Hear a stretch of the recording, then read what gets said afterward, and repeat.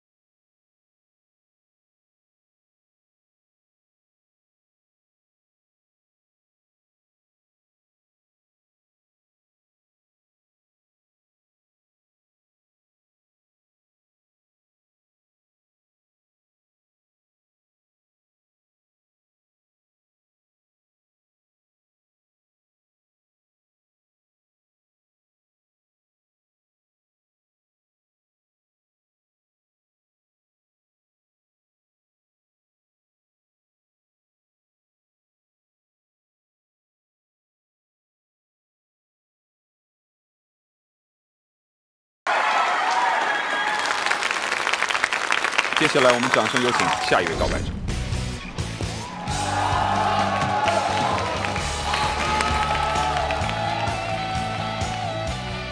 Hello，大家好，我叫张悦，来自湖南。这一休吗？涂老师，你干嘛说我？你不也是？我这有头发呢。你你你干嘛理一光头干什么？我这个光头对于我来说，标志着我。追了两年的男神就要成为我的男朋友了，干嘛？什么男人要你剃了头发来追他？因为这是我第一次谈恋爱，看到他的时候就心跳加速，难道不是喜欢吗？不，你为什么就会心跳加速呢？他哪帅呢？他比我们那那那四个帅哥帅吗？帅多了，这都不用说。继续。我追了他一年嘛，一年之后他生日。他就接了我我送给他的礼物嘛，然后当时他还抱了我，他说谢谢我的生日礼物。说他是怎么抱的？你是熊抱你还是深情的拥抱？是我扑上去的。这叫投怀送抱。然后我当时，哎呦，你说完了没有？嗯。一一看您就是没有青春。要是有这么一个女孩追你，你会觉得无聊吗？我就问你吧，你今天干嘛要剃光头？因为就是我那个时候以为他已经接受我了。我说我跟你表白那么多次，他说你要是这么这么喜欢我的话，那你就剃了光头，那我们俩就在一起。我觉得这就是他对我的一次考验。我剃了光头，然后我来这告白，然后我们就在一起。你傻呀？我哪傻呀？他说理就理呀。他说了我理了我们就在一起。他叫你跳海你跳吗？当然不跳我从来没听过那个男的要你原来是长头发是短头发？长头发。长头发的时候肯定蛮漂亮的小女孩嗯。有毛病叫人家把人立抵个光头我不觉得这男的不怀好意？我觉得他让我理了光头没准就是怕别的男生看上我呢。他让你剃光头的目的只是想证明说你和我头发一样短了哥们儿懂吗？就是他是哥们儿的心态在跟你在一起。那如果你让他把头发剃了，他剃吗？我为什么要让他把头发剃了呀？但那他为什么要让你把头发给剃了呢？我告诉你，这事儿很简单如果有一个男生来告诉我说，佳因为宇你把头发给剃了，我就答应你做我女朋友，我只会跟他说一句话：走你呢，拜拜！这什么人呐、明显就是不爱我嘛，对不对？你要真为我好，干嘛让我把头发给剃了？我觉得多少带有一点点侮辱性。没有，这个妹妹是这样想的。为什么我们说跳河她不跳？因为跳河他不跳，这个是正常人的反应。但是剃头他可以剃，对他生活没什么影响，但对不对？是剃了头也不是正常人的反应，好好吗？再换他是个女生，他不是个男生。不，我不，这个我觉得不是说只有男生才有剃光头的权利的啊，我们不能把这样子这样想。现在本来女追男就很少，像你这么执着的去追一个男生给你一点掌声。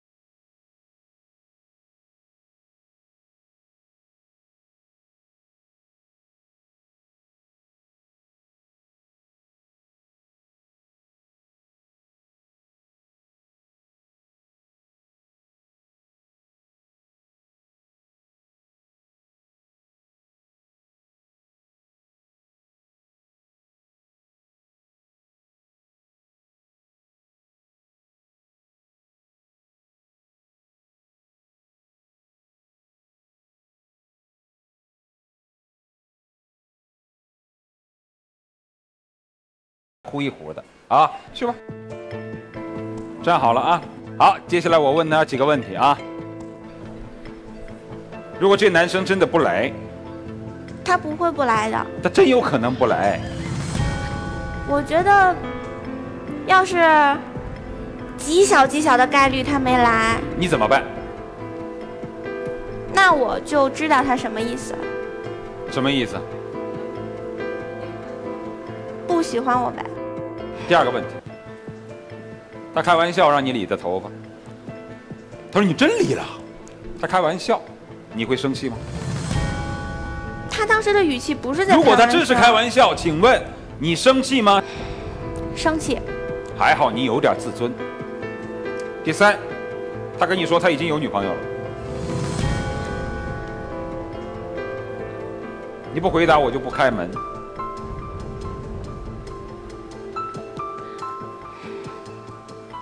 放手呗。好，还好啊，还算是有点冷静啊。行，接下来让我们一起倒数五个数：五、四、三、二、一，请按键。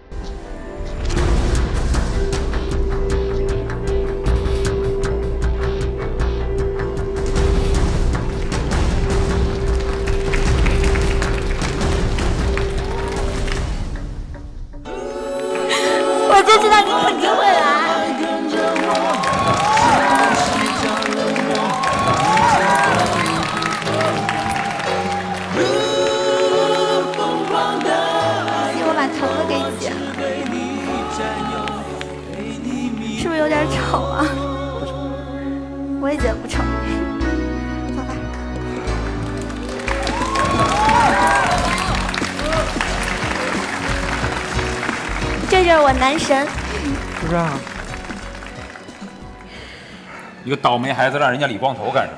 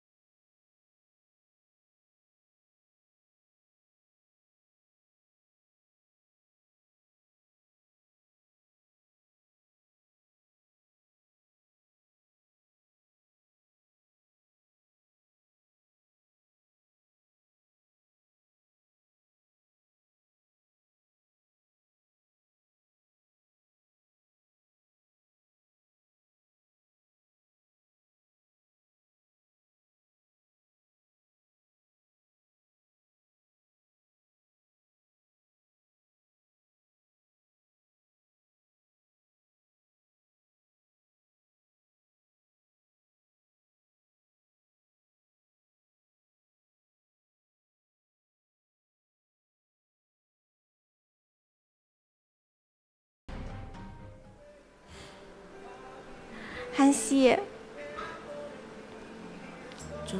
你那天跟我说，你只要把头发剃了，我们俩就在一起。我不知道头发对对于你来说是个什么概念。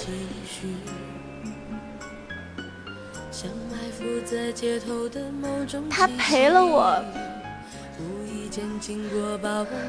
几年，但是我愿意为了你替了他。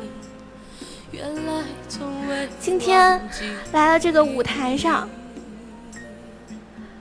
你是不是就要像那天你说的那样，要跟我在一起了呢？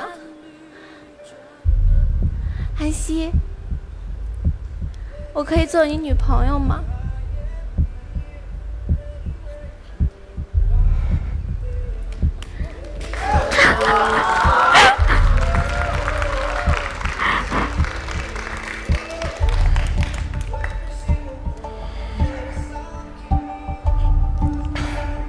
小月，这两年你为我做这么多，每次都是这样包容我、体贴我，我真是也不知道该说些什么。你们为我做的每一件事情，我都记在心里，我心里都很感动，我都明白。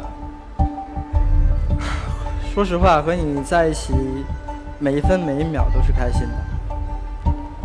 其实。我冲你发脾气、摆脸子，你第二天还是该对我多么好，对我多好，一直在付出，不求回报。所以我今天来也是不想辜负你，我也想告诉你我这两年心中的答复，给你一个正式的交代。我我强迫过自己喜欢你，像恋人之间，但是我一直感觉就像对你的感觉就像对妹妹一样喜欢。我觉得我们不合适，咱俩真不能在一起。不可能啊，韩熙，不可能啊！你要是不喜欢我的话，你要是不喜欢我的话，为什么在我肚子疼的时候你要帮我带热水啊？你要是不喜欢我的话，你为什么在我发烧的时候，你还陪着我，你还把我送到医院，还守了我一夜，你都忘了吗？这些都是朋友之间可以做的。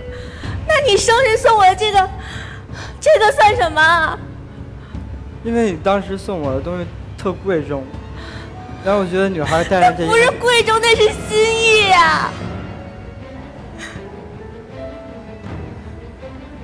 这对不起，小月。我不用你说对不起。我真的一直把你当做我好哥们儿，一直像那样对待你。我不想当你的哥们儿，我不想当你的朋友。说咱俩只能做朋友。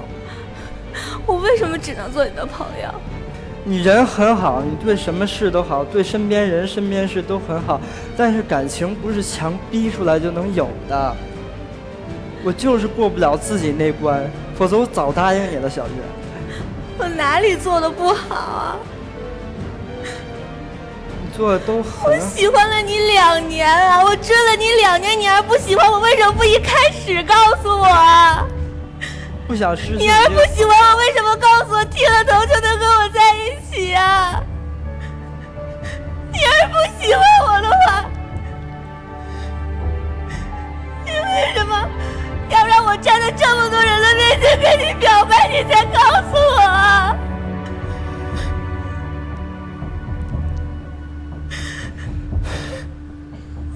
我哪里不能做你的女朋友？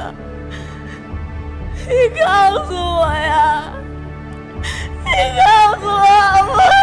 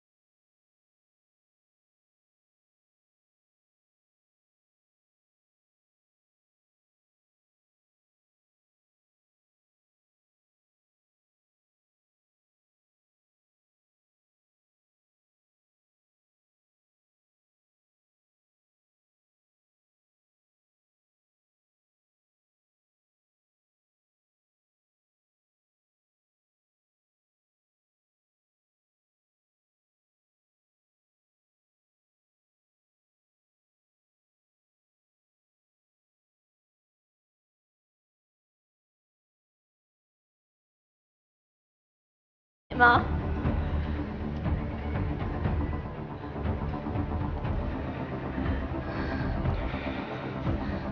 那我给你理吧。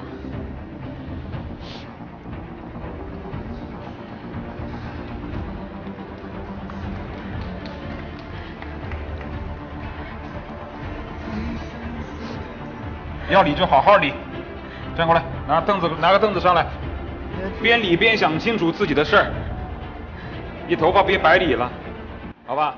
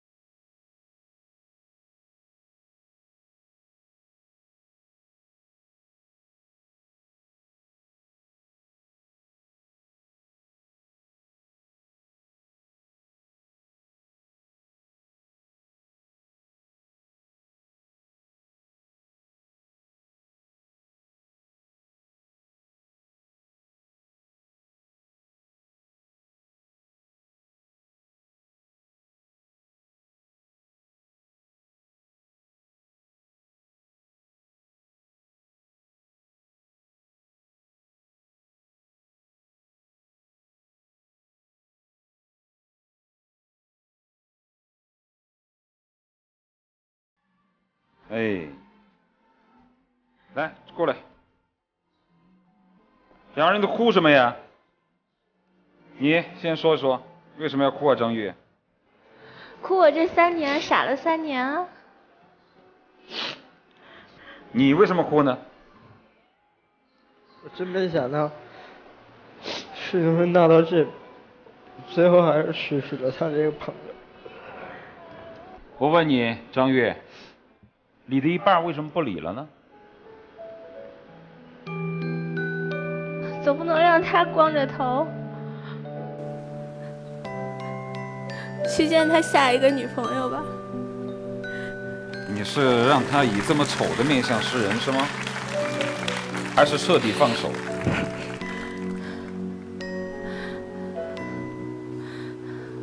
我已经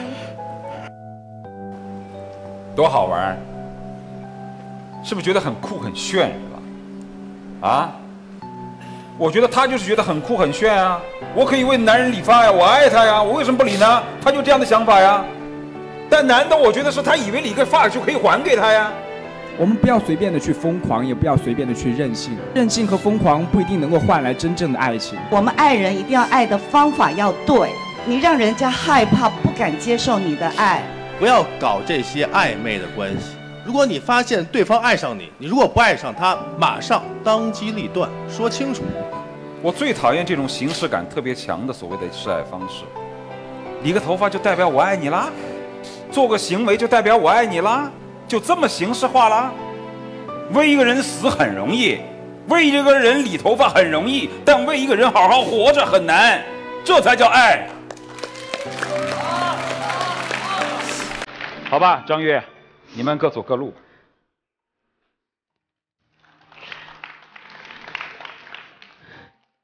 对不起，小月。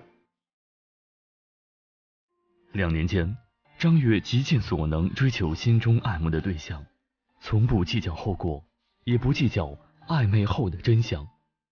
而韩熙因为不忍剪断两人的朋友关系，一直未正面拒绝张悦疯狂的追求，而给他留下了无尽的幻想。尽管在现场，韩熙试图用自己的头发为暧昧带来的伤害买单。但是最终两人还是不欢而散。所以在我们面对别人的爱的告白时，如果不爱，就要坦诚的拒绝。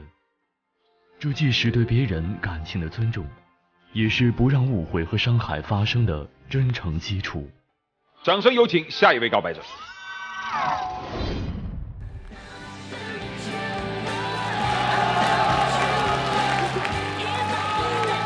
主持人好，大家好。为什么你上来有人叫的那么欢呢？是不是有点傻？大家就笑。对，你不说还真有一点。真的吗？啊，来自我介绍一下。大家好，我叫高仙子，今年二十二岁，来自湖南。然后呢，你今天来干什么？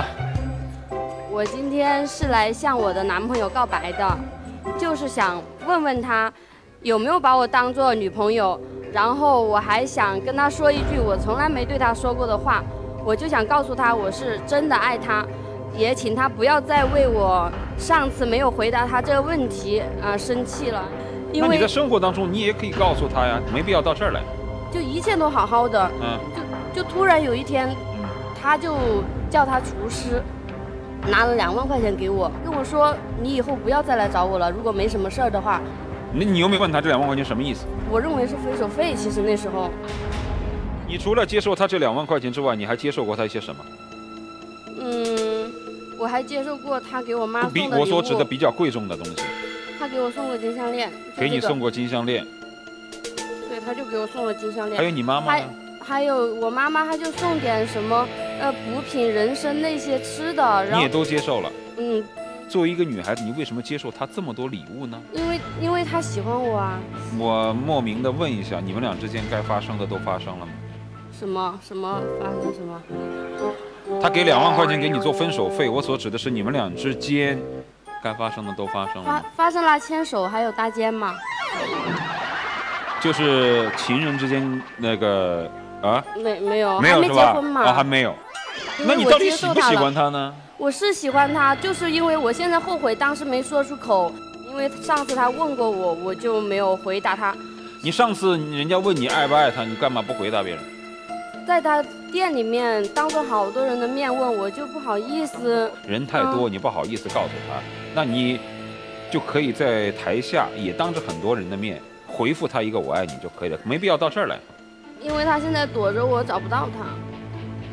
我这男的不至于这么小气吧？就以你没有上次答应他说“我爱你”，他就不见了。我想就是因为这个问题，因为我在他店里打工，以前别人都叫我老板娘，就自从那天后，他就跟所有人说我不是他女朋友了。就像做了一场梦一样，你也不了解他多少，你收了他们这些礼物，好的时候就很好，分手就突然之间拿出两万块钱要跟你分手，你不觉得这个东西很可怕吗？我就是觉得可怕，我就告诉我同学了，他就说他可能有老婆，我也不知道。你们在一起只谈到他对你的好，给你的金项链，所以我再加上一种可能，他灵魂发现，觉得将来 hold 不住你，然后呢，在跟你接触的过程当中，他可能用你刚才所谓的各种礼物来考验了一下你，然后你让他很失望。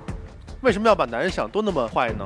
他其实没有得到太多东西，相反你倒得到了很多。哎，这个我不同意，我觉得你花了吗那男的得到挺多的了吧？他啊得到什么了请问得到了这女孩对他的爱呀。对啊现在他有这女孩都他有明确上完美吗告白来了。他跟他在一起，难难道他陪他的时间不是时间了吗？他给予他的这种情感不是情感了吗？对，说不定但是我不知道为什么，因为这个现实，你们会觉得这个老板很坏。不是为什么他可能会有家室不是说他很坏，而是他所做的所有的事情，他都不符合情理。唯独能够符合这个情理的，就是他在哈尔滨老家，他就是有家世的一个男人。请问这个女孩所作所为符合情理吗？呃，所以他都不知道为什么，然后就接了钱，你花了吗？我没有，我没有。你准备？还给他吗？我就是想找到他之后问他问清楚，这两万块钱干嘛？如果他原谅我了，我就给他，我俩像以前一样。如果他真的有老婆，我就给他，我不要，我我我不再我不再跟他联系。高仙子家境普通，母亲常年体弱多病。当时还在学校读书的高仙子，为了缓解生活压力，来到一家火锅店打工。不曾想到的是，老板周瑞峰对相识不久的高仙子一见钟情，并展开追求，对她的各种要求也是百依百顺。可就在两人交往不到半年时间后，老板周瑞峰突然拿出两万元，让人转交给高仙子，希望断绝恋情以及工作关系。对事情真相不明就里的高仙子来到现场，希望对老板周瑞峰大声说出从未说过的爱，并希望了解周瑞峰为何突然提出分手。那么，老板周瑞峰为何突然拿出两万元，要决绝地斩断与高仙子的联系？他今天会来到现场接受高仙子的告白吗？这个女生很简单，甚至过有点我们所说的二，说话不经过大脑，但是她有点来者不拒，说难听点啊，有点不懂分寸，就别人送什么她都能接，她也敢接，接了之后人家要跟她分，还给她两万块钱让她分，她还敢接，所以说我觉得这个男生对她应该不会有别的图谋，他并没有跟她发生什么，只是很简单的牵牵手，可能一开始会有感情的培养，但是。后来在整体观察之下，可能会觉得有点不是心目当中所想吧。所以我今天就想，就想他来接受我的告白，我想当面问他问清楚，到底他把我当什么？然后这么突然，我想问他问清楚。好，今天不管合与不合，不管猜测的是哪个版本，咱做人得有点骨气，不轻易的接受别人贵重的礼物，好不好？来，请站到开启告白之门的按键旁边。好，问你几个问题。如果你的老板没有来怎么办？他应该会来的吧？他如果不来呢？这个事儿就像他喜欢我。但如果他不来呢？这事儿就像个无头公案一样，就莫名其妙就这样分了。你会怎么做？如果他不来的话，我就还去他店里等他，我等到他来为止，我一定要跟他说清楚、问清楚到底是怎么回回事儿。如果他有老婆，我就读书去了；如果如果他没老婆的话，跟我说清楚怎么回事儿。如果他真不喜欢我了，我把两万块钱还给他，我全还给他，穿了我也还给他衣服。穿了也还给他。啊，如果他说他真的是只是一个人，一开始有点喜欢，现在确实不喜欢你了，那你怎么办？他上次问我的那个问题，我现在就明确的告诉他，我喜欢他，我爱他。那如果他之所以给两万块钱给你，是因为他破产了，不想拖累你呢？那我就还给他，去别的店打工，我再挣钱给他。还是终生的爱他，帮他，是吗？我爱他，我确定我爱他。来，把手放在按键上，让我们一起倒数五个数：五、四、三、二、一，请按键。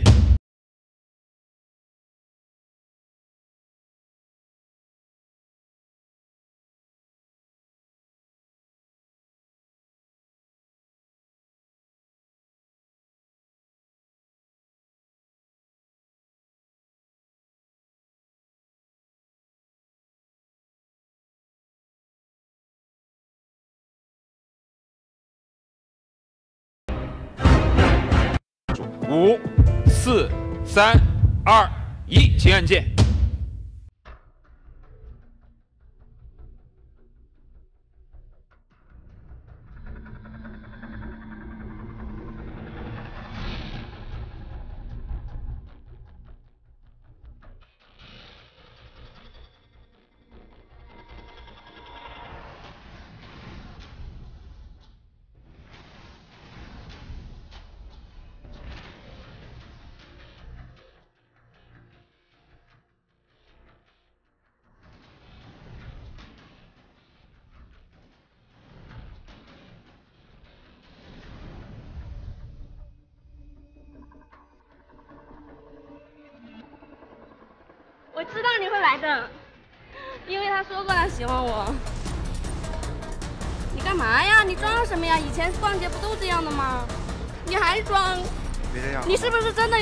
了？你装？你是不是有老婆了？你说啊，是不是？你别不吭声，每次每次说话你就不吭声，搞得我好郁闷的。你说你是不是有老婆了？你还装？你为什么平时不装？你要装，你为什么？你跟我说。别这样好不好？你为什么要躲着我还不接电话？你老婆是哪人？你告诉我。你说，你告诉我。没有老婆。没有老婆，那你为什么要突然之间给我两万块钱，还叫厨师给我？你躲起来干嘛呀？你是啥意思呀？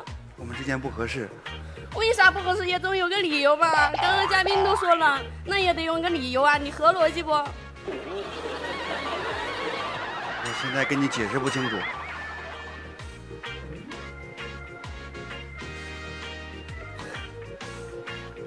觉得你们俩说啊，他不说话啊，搞得我好郁闷呢。你让他说每次都不说话。那你让他说啊。站到这儿来，主持人说。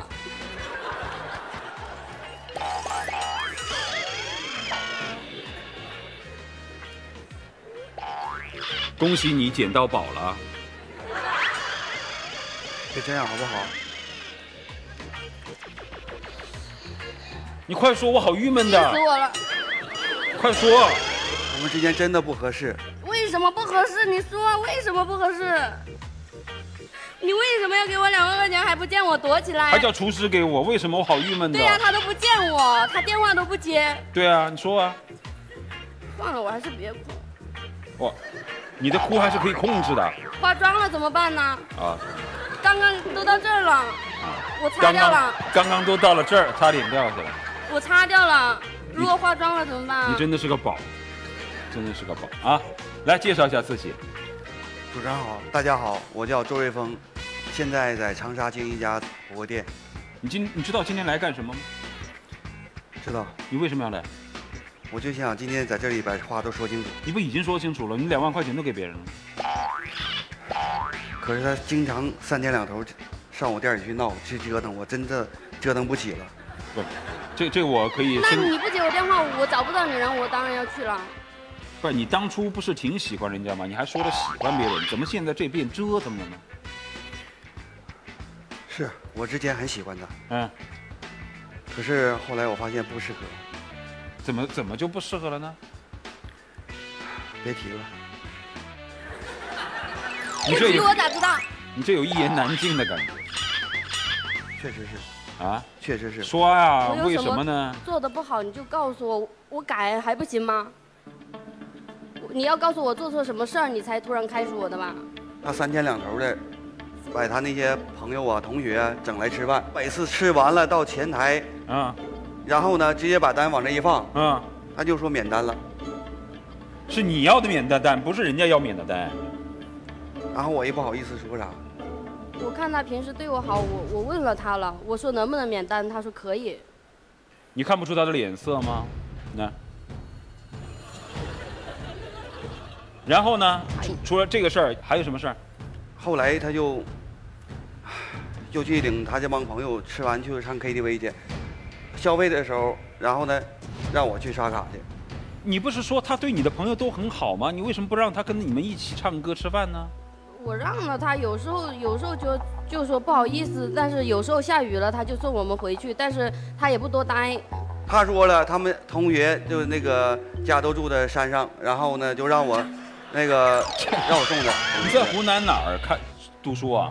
岳麓山，哦哦，岳麓山是吧？大学城岳麓山。哦，那怪不得你要送山上去。然后呢，还有什么事儿？我给送完回家以后呢，他就老高兴了。嗯，我就搁那寻思，边开车我就边寻思，你就郁闷了，我就我相当郁闷了。嗯。那你当时怎么不郁闷啊？然后呢，你这郁闷跟他说了吗？我想过跟他说，你为什么不说？但是我寻思跟他掰扯不清楚，我别的。你你没说，你怎么可能知道掰不扯不清楚呢？他有的时候说话，我说一句，他十句八句顶着我。他这么厉害？行吧，没有有效的交流，然后呢？这都不要紧啊。然后呢？这都不要紧，还有更惨的。还有什么更要紧的？我怎么不知道？他那个微信朋友圈上经常发表他喜欢啥喜欢啥的，然后那个这不是下钩子吗？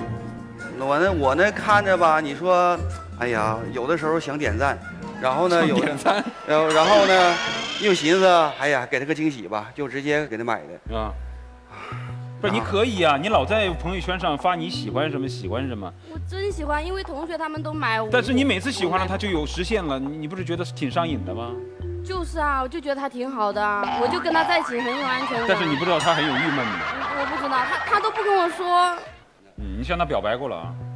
嗯，我没有跟他表白过。他不是说你当好多人面问他喜不喜欢你吗？那天真是气死我了。气你啥了，你不说我咋知道？莫名其妙。怎么气死你了？本来是，呃，我挺信任他的，我把我这个。啊，收银台交给他管理。嗯，谁知道他呢？时不时的就拿点钱出去，时不时就我这就少了点钱。你还做这种事儿？那我是想买点自己喜欢的东西，那也不是给我一个人买的，我给你也买了。我我拿了就告诉你了呀。我拿了之后我就问他了，他他就没说什么。我问你，你都答应了？他每次都是先拿完再跟我说。那你可以让他说，你有没有跟他说下次不准再拿？因为他拿完以后，我说第一次我是不好意思说，第二次呢，我又发现又少了。那你既然已经对他不满意了，干嘛还在众目睽睽之下问他喜不喜欢你呢？我那天真是被他逼急了，我我就，哎，气坏了。我当时我就跟他我说，你到底爱不爱我？我其实就想跟他说，啊，你到底是爱我人呢，还是爱我的钱呢？啊？那你又不说一说全，只说了一半儿。结果他怎么说呢？我就没回答他，就是他当啥事儿没有一样，所以你就伤心了是吗？老失望了这种感觉。那后来你给他两万块钱又是怎么回事呢？就想以后让他好好生活呗。我问你一个比较敏感的问题啊，在这种种行为的过程当中，你也觉得你挺有面子？我倒我倒没觉得啥不啥面不面子的，我就觉得他这越来越离谱了。但是呢，我这个人又不好意思说，直接跟他说。你开车送我回家，还有我同学回家，我觉得挺挺有面子的。我同学也你当然觉得有面子了。那你的同学挨个我给你送回家的，那还想咋的呀？所以他们羡慕我，觉得你也挺好啊。大致听清楚了啊！我的个人感觉是，但凡是这样的一个女孩到他店里跟他谈朋友，都会变成这个样子。我觉得男生的沟通实在是太少了，就是默默在心里边生气。两个其实很喜欢对方，可是又因为这种生活上的习惯和这种金钱金钱观不一样，所以才会造成两个就就要分崩离析了。男男孩子是比较少沟通了，但我想说女孩子就是虽然你呃很多东西你懂，但是人情世故你不是那么的懂。所有的东西你想要吗？想要就自己去赚，自己买给自己。另外，女孩你过早啊，把自己角色给。定好了，这边还还在考验你是否符合女友的标准呢。你那边已经以老板娘自居了。别说那么高超的一些层面，他们俩其实都虚荣，虚荣的方式不一样。女生的虚荣方式就是忘了本，她忘记了曾经她出来打工的时候，她的初衷是为了减轻家庭的困难。而这位老兄虚荣的方式是要面子，毕竟我找了一大学生的女朋友，给他面子就是给我面子。这个女孩一开始是一个不错的女孩，是你没有把她引导好，你一步又一步的纵容她，才成了今天这个样子。如果你们俩能够吸取这样经验教训，以后懂得有效的交流的话，我觉得是可以在一起的。因为这个女生本质上挺纯良，你不是要向她告白吗？来，站到这儿来，你站这儿。哎呀，你们俩是棋逢对手。接下来是高仙子的告白时间。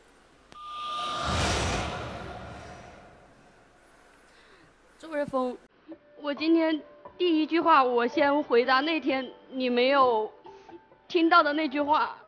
周瑞峰，我爱你。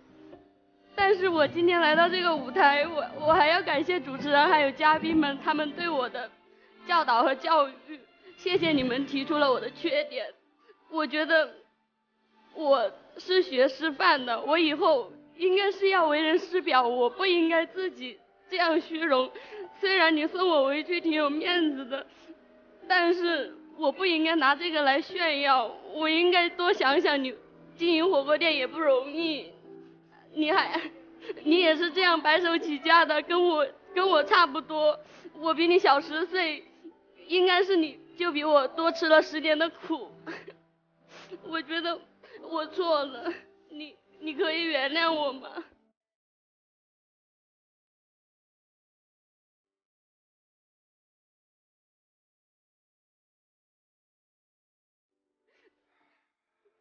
我，如果你在你回答之前，我也害怕你听到你说不原谅我。其实我一直都挺喜欢你的。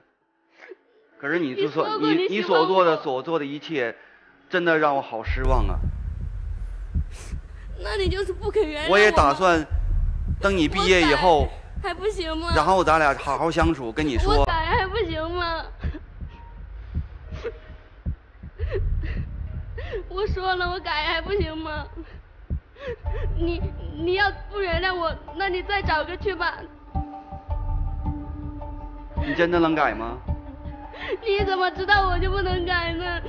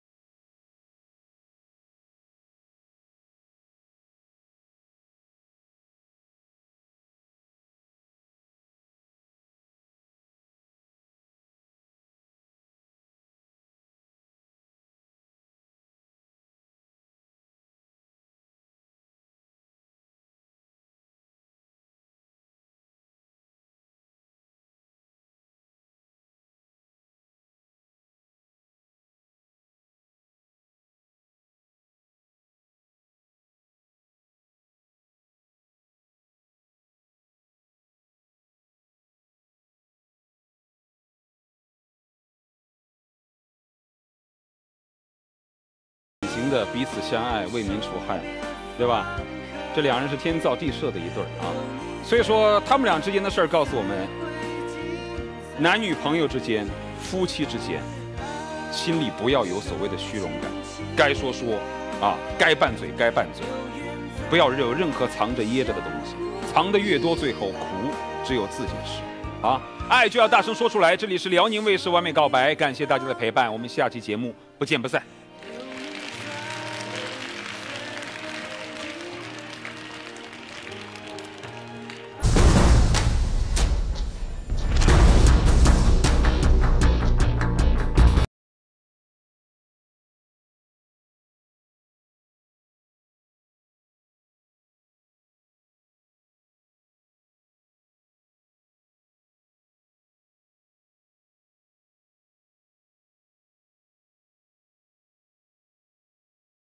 喜欢我？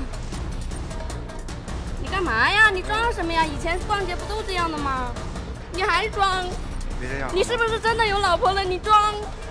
你是不是有老婆了？你说啊，是不是？你别不吭声，每次每次说话你就不吭声，搞得我好郁闷的。你说，你是不是有老婆了？你还装？你为什么平时不装？你要装，你为什么？你跟我说。别这样好不好？你为什么要躲着我还不接电话？你老婆是哪人？你告诉我。你说，你告诉我。没有老婆。没有老婆，那你为什么要突然之间给我两万块钱，还叫厨师给我？你躲起来干嘛呀？你是啥意思呀？我们之间不合适。为啥不合适？也总有个理由吧？刚刚嘉宾都说了，那也得用个理由啊！你合逻辑不？我现在跟你解释不清楚。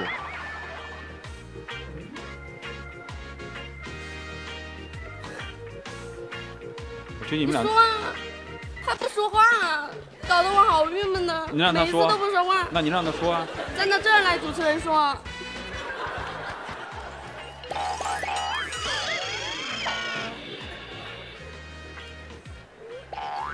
恭喜你捡到宝了。别这样好不好？你快说，我好郁闷的。气死我了！快说，我们之间真的不合适。为什么不合适？你说为什么不合适？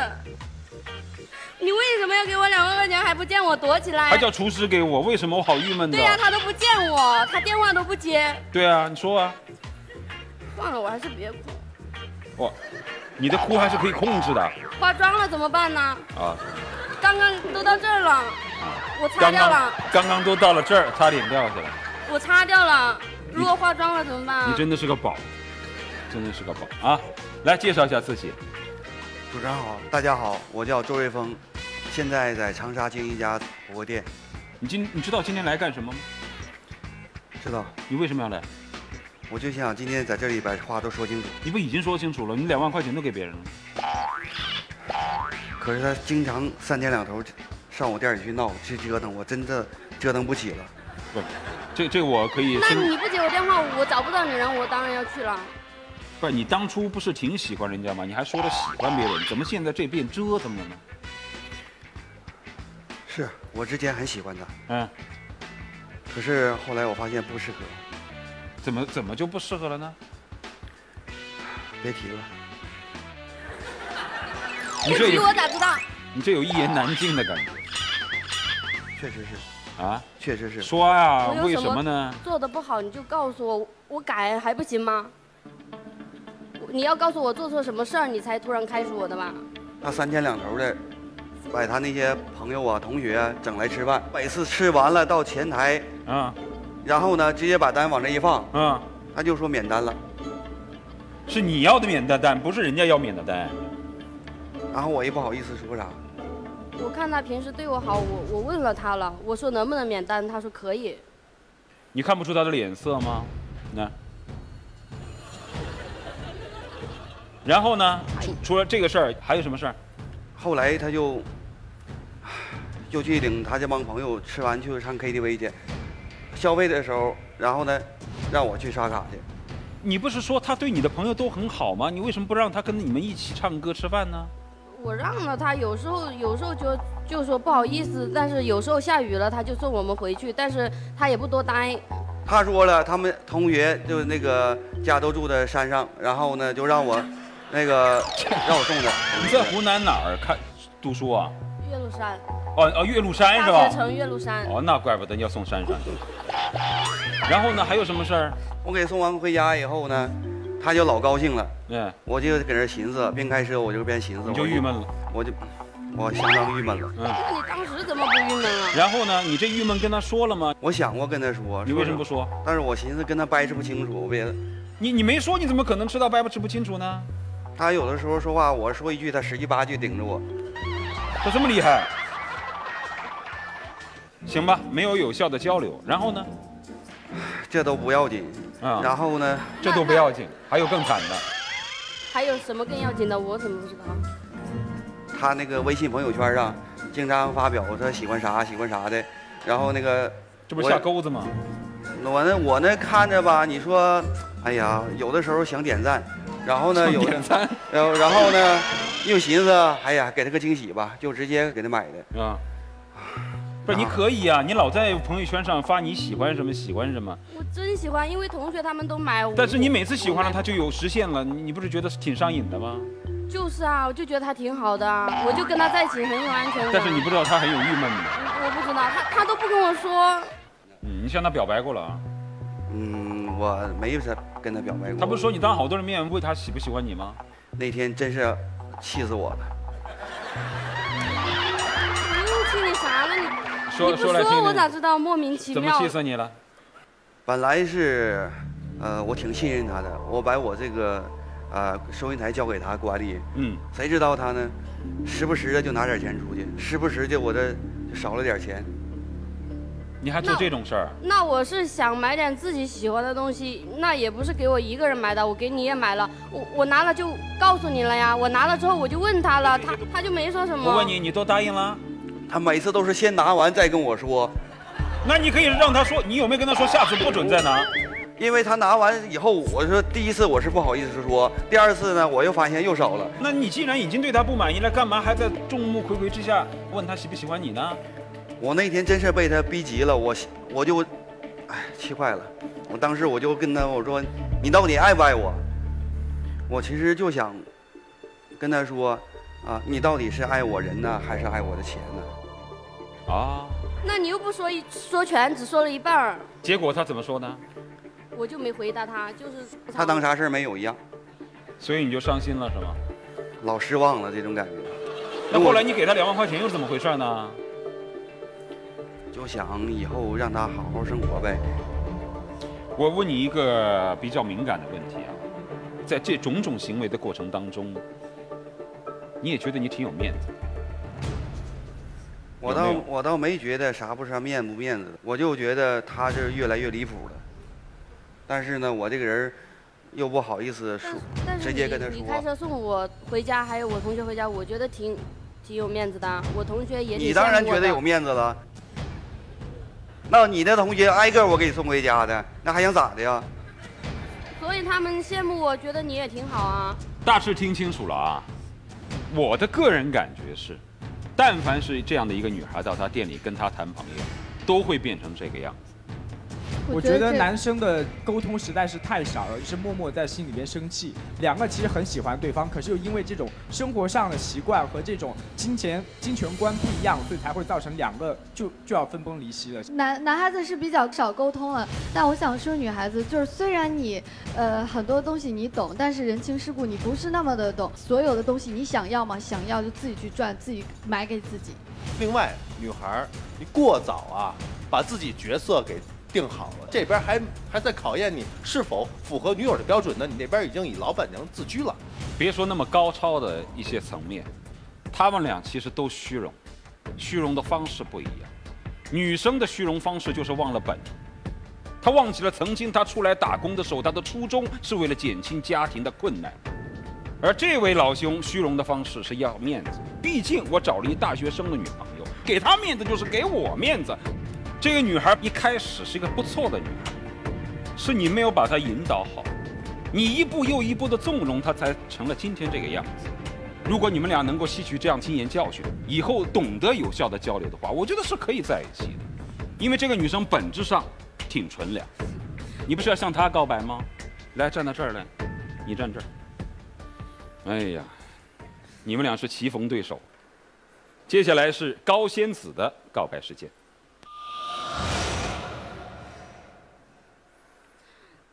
峰，我今天第一句话，我先回答那天你没有听到的那句话。周瑞峰，我爱你。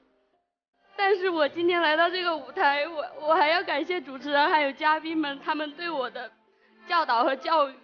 谢谢你们提出了我的缺点，我觉得我是学师范的，我以后应该是要为人师表，我不应该自己这样虚荣。虽然你送我回去挺有面子的，但是我不应该拿这个来炫耀，我应该多想想你经营火锅店也不容易。你还，你也是这样白手起家的，跟我跟我差不多，我比你小十岁，应该是你就比我多吃了十年的苦。我觉得我错了，你你可以原谅我吗？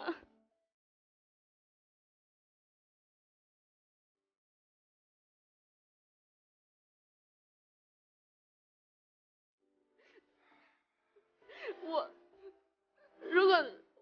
你在你回答之前，我也害怕你听到你说不原谅我。其实我一直都挺喜欢你的，可是你所你你所做的所做的一切，真的让我好失望啊。那你就是不肯原谅我。我也打算等你毕业以后，还不行吗？然后咱俩好好相处，跟你说。我改还不行吗？我说了，我改还不行吗？你你要不原谅我，那你再找个去吧。你真的能改吗？你怎么知道我就不能改呢？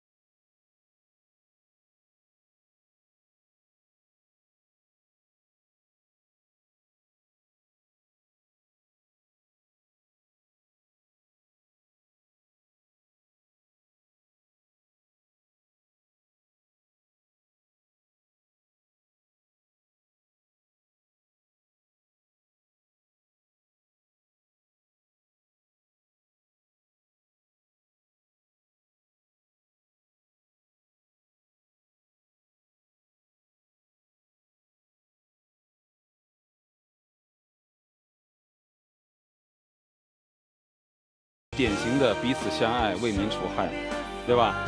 这两人是天造地设的一对儿啊。